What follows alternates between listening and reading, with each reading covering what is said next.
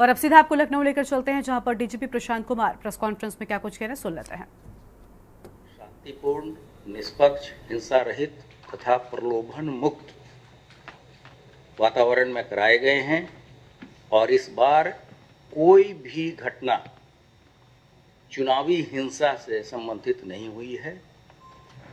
ये एक जो यहाँ के चुनाव में लगे प्रशासन और पुलिस की जो टीम है, ये उसकी प्रोफेशनलिज्म को दर्शाता है कि पहली बार ऐसा हो रहा है कि किसी तरह की कोई घटना अभी तक रिपोर्ट नहीं की गई है। ये उनके निष्पक्षता का भी प्रमाण है।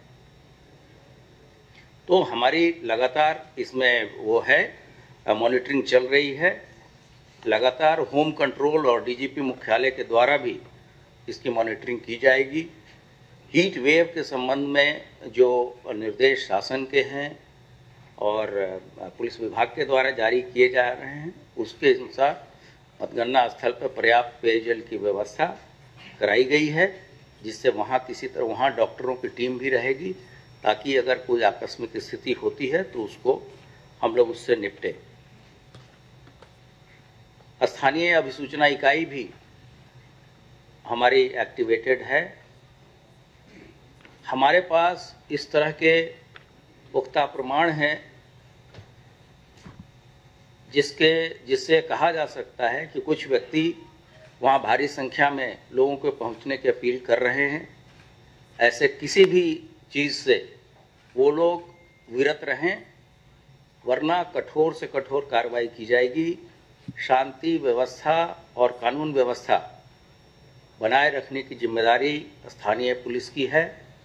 और कोई भी व्यक्ति जो कानून व्यवस्था गड़बड़ करने का प्रयास करेगा, उससे बहुत सख्ती से निपटा जाएगा। और समय आने पे उसका, उन व्यक्तियों के नाम भी हम आपके साथ शेयर करेंगे। पूरी मतगणना को सकुशल संपन्न कराए जाने के लिए एसपी और एडिशनल एसपी की अगर देखें तो 160 व्यक्ति लगे हैं। केवल मतगणना के लिए और पुलिस उपाधीक्षक चार सौ छिहत्तर, निरीक्षक दो हज़ार दो सौ अड़तालीस उप निरीक्षक बारह हज़ार आठ सौ तिरासी, मुख्य आरक्षी बीस हज़ार आठ सौ छिहत्तर, आरक्षी पचास हज़ार छः सौ संतानवे होमगार्ड छः हज़ार एक सौ उनचास तथा सी ए पी एफ़ की एक सौ पैंतालीस कंपनी तथा पी एस सी की एक सौ दो, एक सौ दो कंपनी का व्यवस्थापन इस दौरान केवल मतगणना के लिए किया गया है। अन्य जो कोर्स है, वो जनपद, पूरे जनपद में शांति व्यवस्था बनाए रखने के लिए उपयोग में लाया जाएगा। 2022 के विधानसभा चुनाव के मतगणना के पहले भी कुछ लोगों ने शांति व्यवस्था भंग करने की कोशिश की थी। उस पर किस तरह की कार्रवाई की गई थी, यह सभी को विदित है।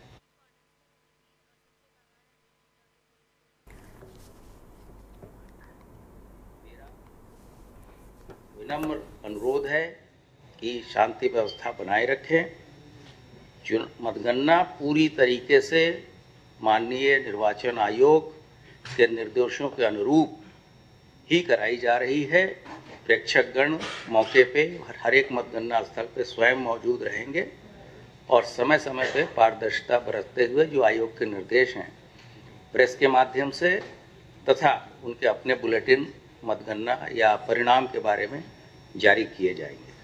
धन्यवाद।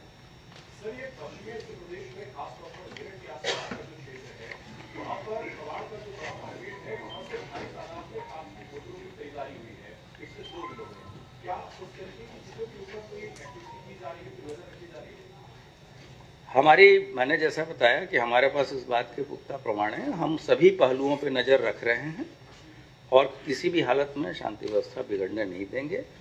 और इसके बारे में आपने देखा भी होगा कि राज्य सरकार के द्वारा ऐसे प्रकरणों में कितनी कठोर कार्रवाई की जाए धन्यवाद।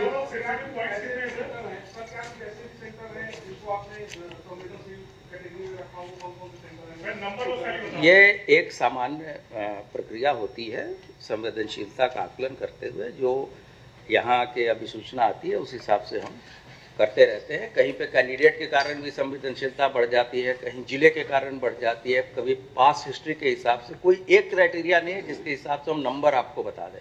लेकिन हमारा व्यवस्थापन पुख्ता है और हम पूरी तरीके से सकुशल मतगणना संपन्न कराएँगे।